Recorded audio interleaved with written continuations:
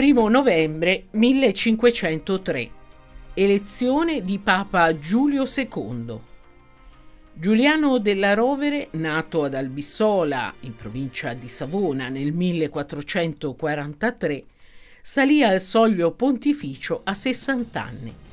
Francescano, creato cardinale 32 anni prima da Sisto IV, suo zio, divenne molto influente con l'elezione di Innocenzo VIII, a lui legato da vincoli di gratitudine. Nonostante l'inimicizia con Alessandro VI, riuscì a ottenere l'appoggio di Cesare Borgia e venne eletto pontefice all'unanimità alla morte di Pio III, che aveva regnato per soli 26 giorni.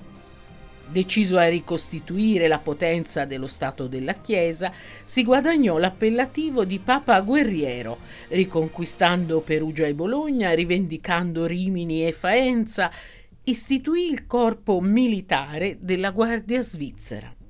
Preso atto che la potenza della Francia avrebbe presto rappresentato il maggior pericolo, s'accordò con Venezia.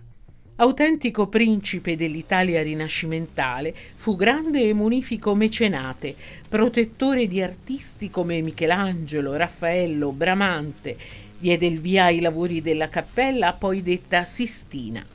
La sua natura energica rimase però il tratto più caratteristico della sua personalità e tutto il suo pontificato fu un titanico sforzo di rinsaldare la potenza, anche politica, dello Stato della Chiesa.